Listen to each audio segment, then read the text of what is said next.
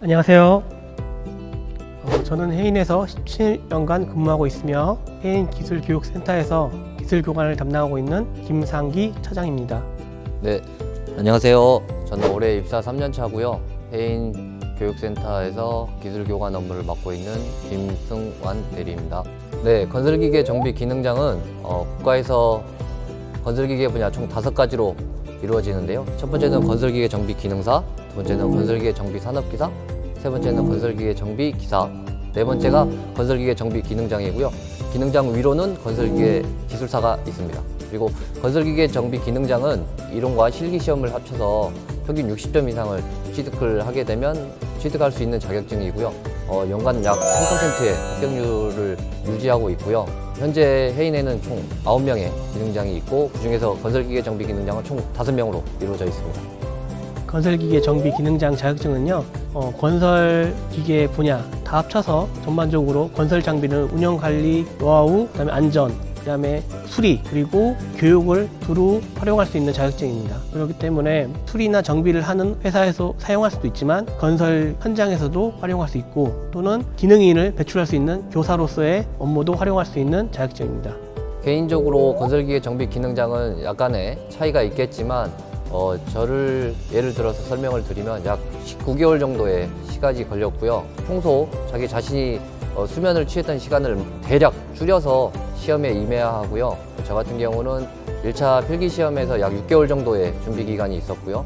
1차 합격하고 2차 시험은 필기형과 그다음에 실기형으로 나뉘게 되는데요. 어, 저 같은 경우는 1차 어, 시험 때 이제 0점으로 실격 처리를 당해서 두 번째 시험 때 재도전하여서 합격을 할 수 있었습니다.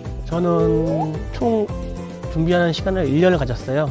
1년을 가졌고 처음 객관식 어, 필기 시험 같은 경우는 한 두 달 정도 좀 준비했었는데 필기 시험이 우리 서술형으로 되어 있습니다. 상당히 어렵기 때문에 그거에 대한 전반적인 내용을 서술할 정도로 하면은 많은 학습량이 필요하기 때문에 퇴근 후에 공부하기가 참 힘들어서 저는 아침에 새벽 일찍 4시 정도 일어나서요. 한 6개월 정도를 필기 서술형을 준비하였습니다. 그리고 필기 서술형을 준비를 마치고 나서 이제 실습을 한 3개월 정도 또 준비해서 합격할 수 있- 있었습니다. 어, 자격증 취득 후 어, 바뀌는 점에 대해서는 해인을 기준으로 설명을 드리겠습니다. 해인 같은 경우는 이 진급에 소위 말하는 인사고과에 좀 영향이 좀 있고요. 매달 지급되는 자격증 수당이 있고요. 별도로 또 일시금으로 지급되는 자격증 수당이 또 있습니다. 그리고 어, 직급에 따라서 1호봉이 올라가는 경우도 있고요. 저희 해인에서도 이만큼의 혜택이 있고요. 그 외적으로도 모든 분야에서 혜택이 많이 있는 걸로 알고 있습니다.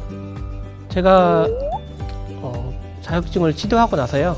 일단은 회사에서 그에 대한 취득 자격증에 대한 이렇게 성과급을 좀 받았고요. 그 다음에 호봉도 올랐고요. 그리고 자격 수당도 받을 수 있었고요.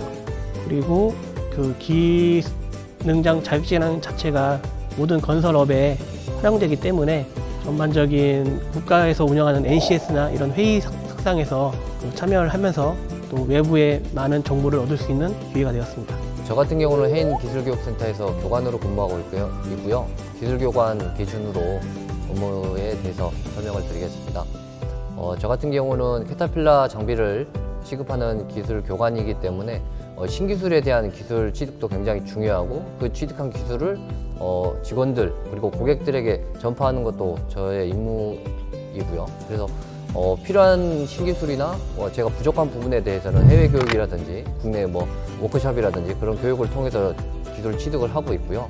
그 취득한 기술을 직원이나 뭐 고객들에게 기술에 대한 전파를 하기 위해서 하루 기준으로 교육이 있을 때는 그 기술 자료를 보는 게 거의 하루 주 업무이다시피 하고요.